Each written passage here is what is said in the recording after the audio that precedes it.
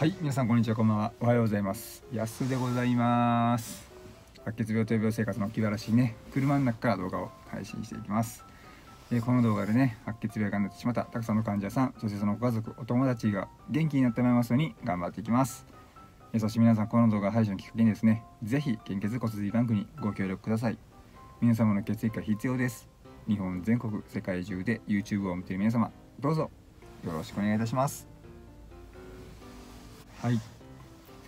えー今日はね病院の日でございます。いつもやったらねその採血をする前のね待ち時間でね撮影しよう思ったんですけどね今日はなんかスムーズにいったんでね採血をする待ち時間というのがそんなになくてですね先に今日は採血をして、えー今のその採血の結果待ちの時間で撮影をしております。でまあ今日はねその、まあ、病院ということでね、まあ、今受診している内科眼科歯科のね今日はこの3つのフルコースでございます。で内科はですね前回からの課題である悪玉と呼ばれているね LDL コレステロールがね、まあ、どこまで下がっているでしょうかって感じなんですけどもすごいドキドキしてますけどもね、えー前々回の時はねすごい数値が良くてねあの結構頑張ってたんですよ。でその頑張りのまま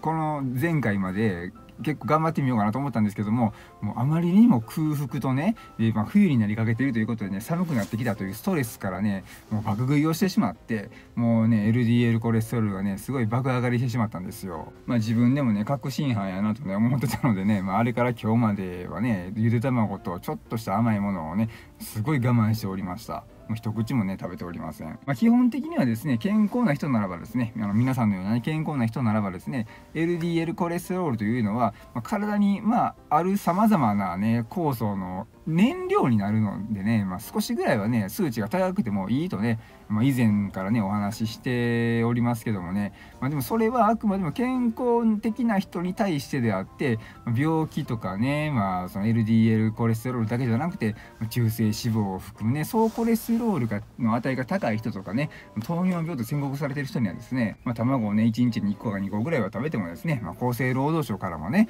まあ、問題になりませんよって言われてますけども、まあ、そんなねその病病気やねその数値が高いとかね、まあ、それ以上に食べてしまうのはねもう大問題ですので、まあ、僕はそれに当たってしまうためにですね、まあ、1個どころかほんまに前回からね全く食べることをね知れませんし甘いお菓子もね我慢しててねほんまにやめてみました。まあまだね前回から2ヶ月しか経ってませんのでねまあその結果がどう出るか分かりませんけども、まあ、少しでもね下がってくれてたらねありがたいです。ほんで白血病関係のねあの症状っていうのは今のところほんまに何も出てませんし骨髄移植の副作用も特ににねあの横ばいでですね、まあたまにしんどくなるので、まあ、それもでもいつも通りやなって感じなんですよ、まあなので特に変わったこともありませんのでね、まあ、でもそれによって免疫抑制剤の分量がまだね減ってくれるのか、まあ、そのままなのかがね、まあ、今日の診察で分かります。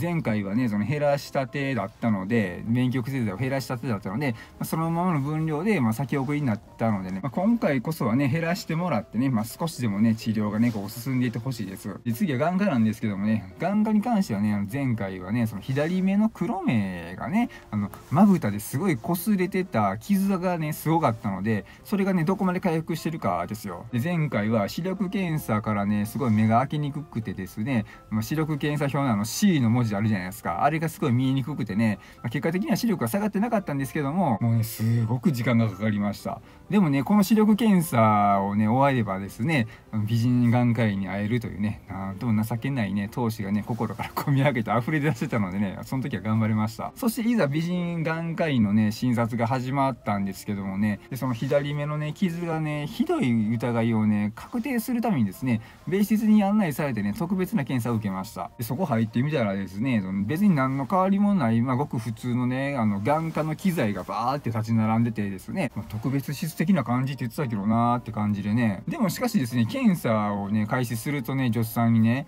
あの特別な薬を塗りますのであのハンカチをね下に下ろしてもらった方がいいですよ。後ではティッシュをねお渡しするのでって言われてですね。どんな特別な薬やねんって思いながらね、まあ、言うことを聞いてね、まあ、あとはされるがままにね、まあ特別な薬をちょちょちょんってこう塗られてね目の撮影がね始まりました。ほんで、まどうしても気になったのでどんな特別な薬なんですか？ってこう ねいつもの癖で聞いてみたところですね。あこれは蛍光塗料なんですよ。なのでねやすさんのハンカチにねもしついてしまったら取れないんです。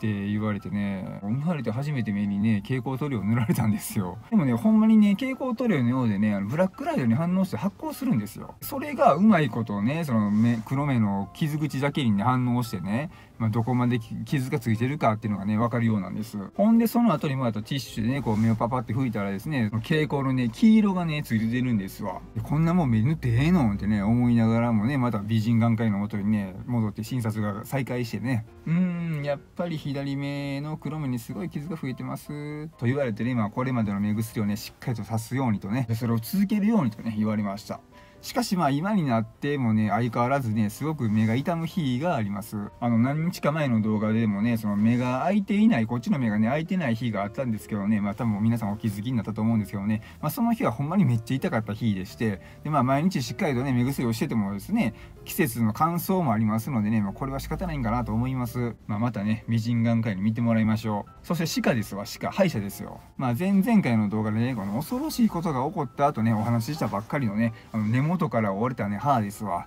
でここをねしてもらいたいのはもちろんなんですけども実はね前歯の下のね歯のね頭頂部のところに詰めてたものもねポロって取れてしまってましてまあでもそれはすごくあの小さなものなのでもうすぐにね修復してもらいたいとこなんですけどもね。まあでもそれでもやっぱりねまだ治療中のその右奥歯右上奥歯とその親知らずがね、まあ、メインどころになってますのでね、まあ、ここをやられると思います今日もね。ここはね今のところまあ仮の蓋も取れてませんし中に入ってる消毒液をこう染み込ませた綿もね取れてませんので痛みはなくてねすごい好調なんです。でも前回の話ではですねこの歯を抜いてしまうのかそれとも、まあ、削っていって虫歯のところを削っていってのそこで残った歯で再構築し直すのかっていう風に検討されたんですけどもひょっとしたらね今日でねその全貌がね明らかになるかもしれません。まあどう転んでもねこっちの歯の治療は進んでいくと思うんですけどもね。であとはねその下のね右下奥歯のね内側の根元もねあの触るとねすごい痛いのでね新しく虫歯になってる可能性をね強く感じてますのでね。まあそこもやってもらいたいですね。まあこっちはねこの左の奥歯のようにねあのボキッとこう折れてしまうようなことはまあない状態の歯なんでまだ治療はしてないとこなんですけどもね。ここは元気なんですよ。だからここに関してはしっかりね治療をしてもらってそんなね折れることのないようにしてもらいたいですね。えそんな感じでねまとめますと内科では LDL コレステロールと免疫抑制剤が下がるか下がれへんか。で眼科は、えー、黒目の傷。歯医者は右上奥歯と親知らず、えー、左下の根腐れ、まあ、これらはねまた明日